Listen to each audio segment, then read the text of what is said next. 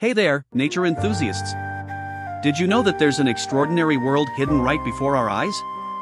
Welcome to our channel, where we uncover the wonders of our planet.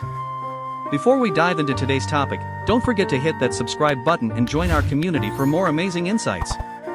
The unique dance of pollination. Let's kick things off with a fascinating fact. Did you know that some orchids have evolved to mimic the appearance and scent of female bees? These clever flowers attract male bees that unknowingly transfer pollen from one bloom to another. It's like a dance of nature that ensures the continuation of life. The crucial role of pollination. Why is pollination so important, you ask? Well, not only does it bring us the vibrant colors and sweet aromas of flowers, but it's also a lifeline for our planet and us humans. The buzzing workforce. So, how does pollination work? Many creatures, like bees, butterflies, birds, and even the wind, play a part. As they move from flower to flower, they unknowingly carry pollen, fertilizing plants and allowing them to bear fruit and seeds. A world without pollination.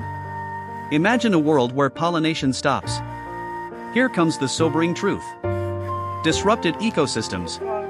Without pollination, countless plants would struggle to reproduce, disrupting ecosystems and causing a domino effect that could lead to the decline of various animal species. Agricultural crisis. Hold on tight, because here's another shocker. Pollination is crucial for agriculture. Many of the fruits, vegetables, and nuts we rely on for nutrition and taste depend on these pollinators. Economic ripple effect. The consequences would ripple through our economies too. Agriculture related industries provide jobs for millions, and a decline in crop yields could lead to unemployment and increased food prices. Bland food options. Can you imagine a world without juicy strawberries, crisp apples, or succulent oranges?